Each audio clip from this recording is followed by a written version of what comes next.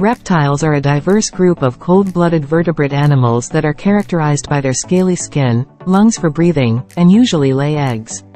They belong to the class Reptilia and are found in a variety of habitats worldwide.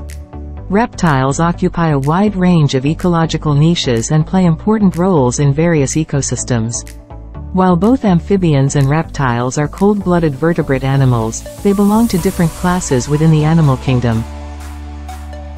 Snakes, lizards, turtles, crocodiles, alligators, chameleon, python, Komodo dragon, cobra, Gila monster, sea turtle, green iguana, gecko, rattlesnake, monitor lizard are some examples of reptiles.